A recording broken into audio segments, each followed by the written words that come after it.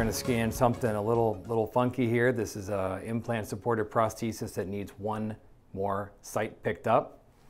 And this is a denture who, that, that has already been fixed on three multi-unit abutments, uh, and the doctor needs to pick up the fourth.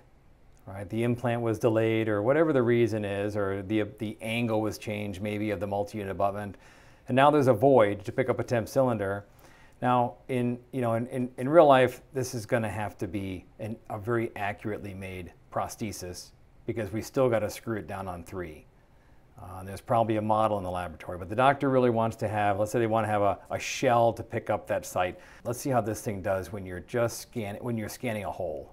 All right, so this is the normal way to do it. You just, you know, scan the full scope of the denture, picks up those implant parts nicely, and there's your void, which was our goal to pick up the void. I'm gonna come across the palate.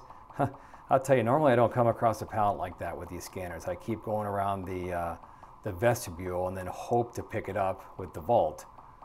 But that this thing, this scanner does it every time. All right, let's get down in there and scan the inferior border. All right, got the implants nicely. Just kind of roll around this and make sure I get all that data. All right, and it's not a custom tray. We could, you know, could stop if it's just a custom tray there, but we want to actually make a, a denture to try in. And this one's pretty shiny too. So follow the border around, just like we always do. Just like that. It's nice that that hole is not getting uh, the, the system confused. Okay, come around the labial. Let's, let's get the occlusion real quick. Go. I have to say, it certainly does pick up where it, wherever you put that head. really does pick that up nicely too. If you, you know, if it gets a little confused and lost, you put it right back to a, an older spot where it captured it really well. Okay, let's see how we do here with the hole from the occlusal side. You can see on your camera this thing is really shiny.